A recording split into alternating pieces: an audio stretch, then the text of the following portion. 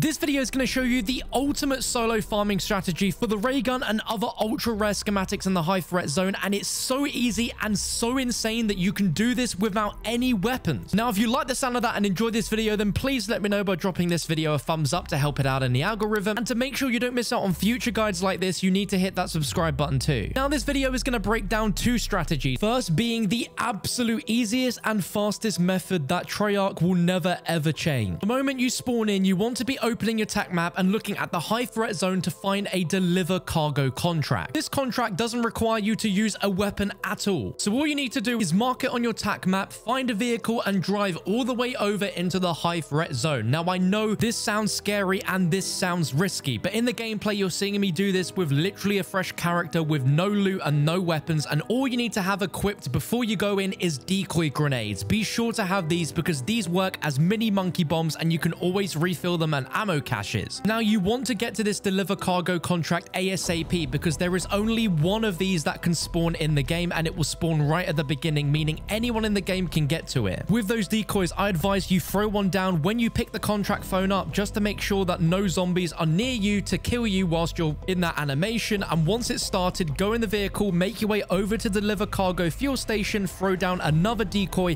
open up the door and immediately go in to complete the contract. Now, this is incredible for two reasons. The first is this deliver cargo will reward you with 5,000 points for completion. And getting 5,000 points from your first contract right at the start of the game means you could pack a punch your weapon straight away if you wanted to. But the beauty of doing the deliver cargo mission is you don't even need to be shooting any zombies. And once you've done this, you'll be given the reward rift, which has the chance of dropping the rare ray gun schematic blueprint that I'm sure you're watching this video for, as well as a bunch of other rare blueprint, schematic recipes, and ether crystals and ether wrenches. Now, in some other attempts, you may spawn in and you won't see a deliver cargo contract at all in the high threat zone, and that's fine because this next part works for either scenario. If you've completed the cargo delivery contract, you're obviously going to want to do another one, and one of those will not spawn in. However, if you go and activate any of the other contracts in the high threat zone and then immediately cancel it by opening your TAC map and holding down triangle on PlayStation or Y on Xbox, that will immediately cancel the contract and that will make another contract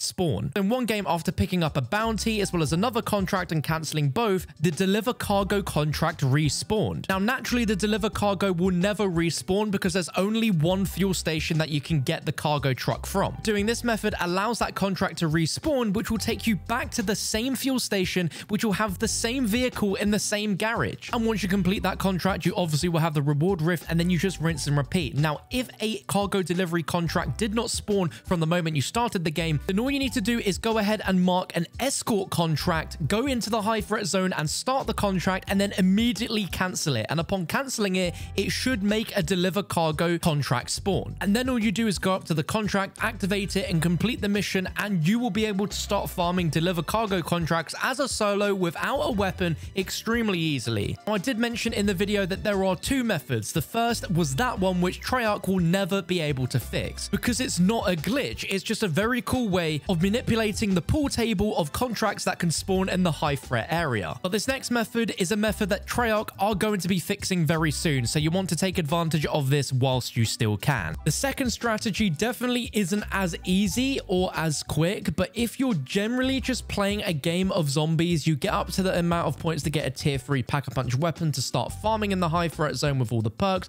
you can go to a buy station and you can buy a Juggernaut kill streak. Now, this Juggernaut is the most powerful kill streak in all of Modern Warfare zombies, and by farming bounty contracts and using the Jug suit, you'll be able to easily, easily, easily take out all of the big bosses very quick and easy. Now, completing any contracts inside of the high threat zone will reward you a lot more points than in the medium or low threat, and by completing about two contracts, you'll be able to get enough money to be able to buy more and more Jug suits. But you can combine this with a few other strategies to make surviving in the high threat zone an absolute cakewalk. The first one is that around the map in infested strongholds and Aether Nests as well as other looting areas, you will find turret circuit boards and turret circuit boards with different ammo mods on them. And you can put these on turrets in the high threat zone to help you take out these elite bosses extremely easily without even needing to shoot, which is extremely powerful. And as I just mentioned, if you're farming a ton of these bounty contracts by using the turrets and by using jug suits,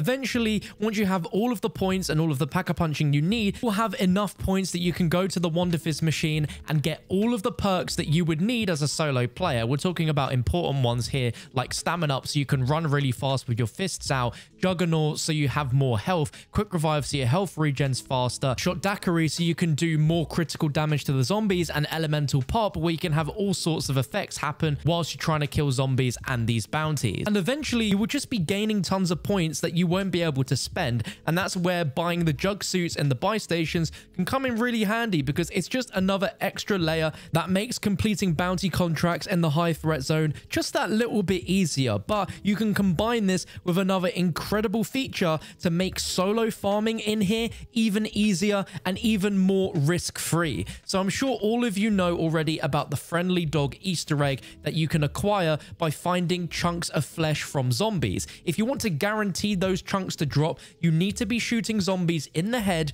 or killing them with some sort of explosive weapon or explosive equipment, such as Molotovs or the Hellhound's fire that is left on the ground for a few seconds after you kill one. And if zombies run into it, they might have a chance of dying and bringing up that chunk of flesh because that was an explosive kill. And when you have four total chunks of flesh, you can make your way to this doghouse in the high threat zone, feed it, and you will get a tier 3 dog, which is extremely powerful. This thing is nearly invincible at taking out most zombies. So you can have that and it can take out most of the basic zombies for you whilst you're focusing on the bounties. But also this thing has the power to revive you even if you have no self revives on you playing as a solo player. In this clip here, I'm trying to take down a mimic. I go down. Obviously, I have absolutely no one to revive me because I'm a solo player and the dog revives me like as if it has healing aura and this can happen for the rest of your solo game. The dog does have a health bar, but I think it is genuinely impossible for normal zombies alone to pile up and kill the dog. It's just not possible. I have heard comments that the dog can be killed by huge elite zombies like the roaming mega abomination and the big bounty elites, but that's only after quite a considerable time of that elite boss trying to take out the dog. It is just so, so useful, and I cannot stress enough how important and life-saving this feature is to have inside of solo